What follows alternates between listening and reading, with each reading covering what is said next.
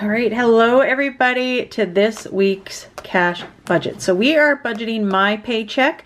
So I am a full-time YouTuber and full-time Etsy owner. If you want to know how I pay myself um, bi-weekly, then is it bi-weekly, bi-monthly?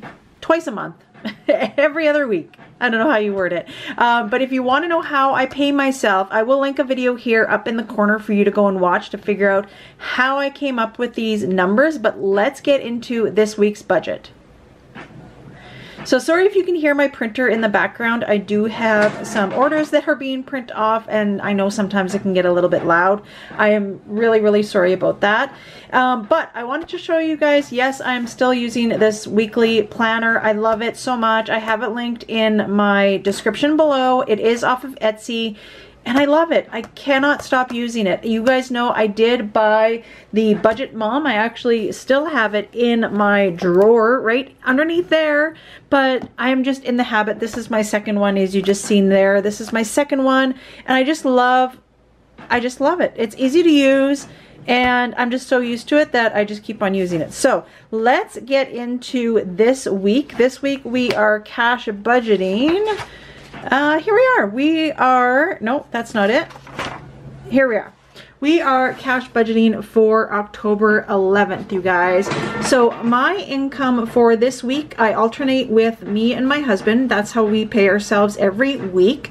And um, we don't pay any of our bills. I, I know I sound like a broken record for a lot of you that have been watching me for a while. But for those that are new, we do not pay any of our bills with our weekly paychecks. Um, I will link a video here up in the cards as to reasons why we don't do that. Um, and it'll it'll explain everything. So make sure you go and watch that. But we only pay our stuff, our sinking funds from our paychecks. So our paychecks, um, for the most part are going to be changing in December. So my husband is actually retiring December 1st. We are so thrilled about that. He will be going for his back surgery in January. So our budget will change at that time, but for now we are just keep on keep on trucking.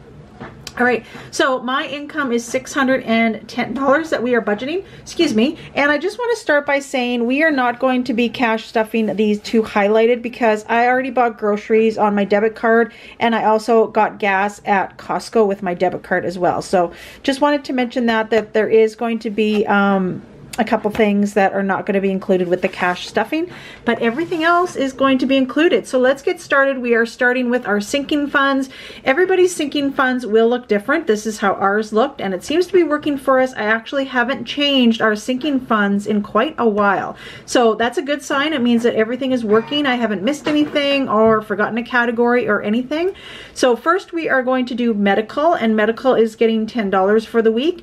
Next is Costco, and I am adding 25 $55. Renos is getting $40. Beauty is also getting $40 for the week. Birthdays is getting $30. Travel is getting $50. And the reason why travel is so high is because my daughter is coming home at the end of October and I do want to give her a little bit of gas money. I always do that with my kids or if we go and visit our kids, that's what that travel fund or sinking fund is used for. Pets is going to be getting 50. Date night is going to be getting $20. And holidays and support small is going to be getting 5. Holidays are things like uh, Valentine's Day, Halloween, uh, things of that nature. And I just add $5 usually every week. Our kids are all grown. My youngest is actually 20. Um, so our kids are all older. And honestly, I don't buy a lot of things for holidays anymore. But I like to just have it just in case. In case I give like our kids something small for like Valentine's Day or, or something like that. Support small is just that if I find something off of Etsy or I want to support a small business. Hunting is getting its regular $60. Anniversary is getting $40. My own envelope is getting $20. Taxes, and this is to get our taxes prepared, is getting $20. Car maintenance is getting $10 and our car registration is getting $20. So that total is $445, which leaves us $165. So down here with our cash envelopes, um, like I said, the groceries and gas is just staying in the bank and I have already used that money anyways, but I will be withdrawing $20 to put in my spending cash envelope. So I will be taking out that $20. But Still want to make sure that the budget balances. So that totals $120 and we have $45 remaining and that $45 is going to go to savings challenges this week. So as I had mentioned in my one of my last videos, I am not doing a lot of sinking or a lot of saving challenges because my husband is doing um, a, side, a big, big side hustle job that he has been working at since August. And we have just been putting all of that money into our tax-free savings account. So we have now, I am excited to say, we have one, no, we have wait, what is it? Ten thousand, ten thousand eight hundred dollars in that tax-free savings account, which I am thrilled about. So um, he still has a lot of work to do before the end of the year. So I am ecstatic about, about that. He is such a provider. I speak very, very highly of him because he is such a hard worker. Um, and especially going into retirement, we want to have that little nest egg that, you know, we have in order to travel. And that's what some of my savings challenges were for. Um, if you remember, if you've been with me for a while, I did have like a 10,000K challenge and that was to go to um, Germany. And then I also had a Las Vegas savings challenge as well as a cruise savings challenge. However, all of that we should be able to save up in our tax-free savings account and that's why I haven't been um, doing those savings challenges and just sticking to these three. So I'm going to be doing the Piggy challenge which is $15, the 1000k savings challenge which is $20 and my weekly challenge we were on week 10 and that is $10. So that total is $45 which is a zero based balance this week you guys. How good is that? All right. Also, what I love about this weekly planner, it gives you the denominations in order to figure out what bills you need to withdraw from the bank. When you go and see the bank teller, you want to know what you are withdrawing and in what denominations of how much. So that's where this comes in. I write down all of my sinking funds and I write down which bills I will need in order to stuff those sinking funds. So, you know, as an example, medical needs $10, so I'm going to be getting one $10 bill. Costco is a 20 and a 5. Renos is two 20s and then etc. I figured out all of that on this sheet here and I'm telling you it comes in very, very handy. I actually started or my daughter, I should say, uh, but I've gotten her started on cash budgeting. She really wanted to get into it. I definitely will be sure um, to record her binders. She just has been away dog sitting, so she has her binders with her, but I do want to upload that and show you how cute they turned out. She's doing such a fabulous job. She looks forward to cash stuffing just as much as I do, and she's my saver. She's 20 years old, and you know, she's very much into saving, which I am very, very proud of. So this kind of teaches her, she's 20, and this even is like very basic for a beginner and I, I'm still a beginner. I still call myself a beginner budgeter. I just started this year. So, you know, this is still very, very helpful for me. So I'm going to be using this book, I think, for a long time. And then at the end of it, as you can see here, the bill quantity, I need two 50s, 17 20s, etc. So I always just double check all of my math to make sure it comes up with the correct amount that I need in order to withdraw from the bank.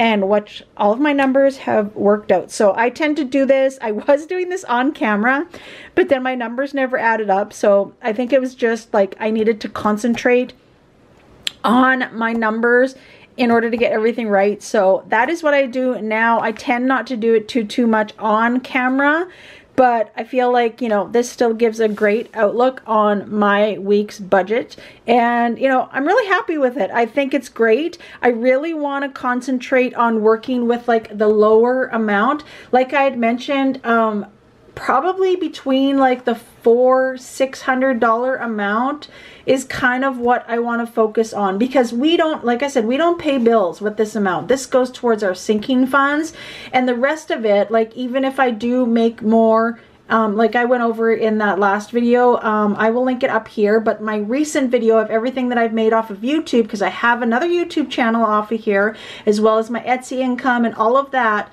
um, I saved most of that. I did have to buy some products for a launch coming up in November, November 1st. I'm having my next launch and it's going to be a big one. It's going to be very, very big.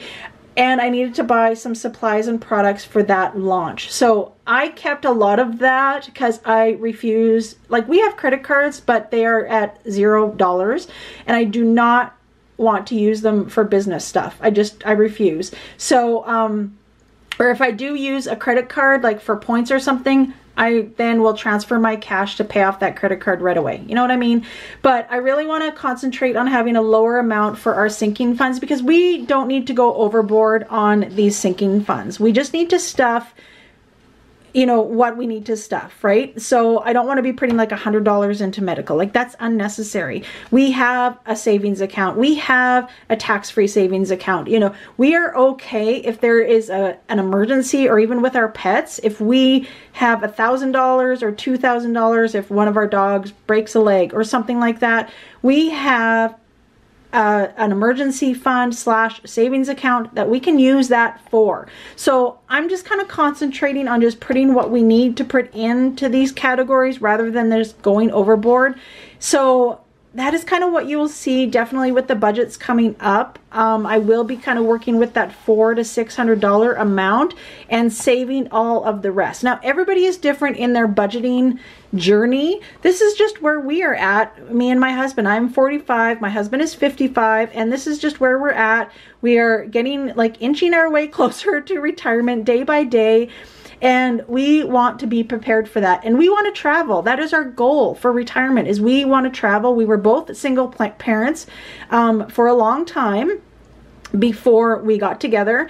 And you know we have spent a lot of our time being parents. And we want to enjoy each other. We want to travel. And that is why we are saving so much in order to do that and to travel and enjoy our lives you guys. So i encourage you you know to look at your your budget works look look to see what works for you and your financial situation and go from there. You do not you don't even need to do $400 like whatever you can allow to be cash stuffed into your sinking funds cash stuff it. You know my daughter for example like i said she started it she doesn't cash stuff a lot of money into her categories. But like she said, you know what, mom, a little bit will add up. She's saving for a concert that she's going to in the new year. You know, $10 a week or $20 or whatever adds up. So she can, you know, buy herself a sweater or, you know, the gas money to get there or things of that nature, right? So every little bit adds up, you guys. So let's remember that. This is this week's budget and we are going to be cash stuffing it on Saturday. So please make sure that you tune in on Saturday's video when we cash stuff this, my favorite day of the week. Hopefully you guys will tune in to watch that. Please make sure you give this video a like, make sure that you are subscribed to my channel and you have that notification bell on so that you won't miss a video when I upload it to YouTube. Thanks for watching you guys.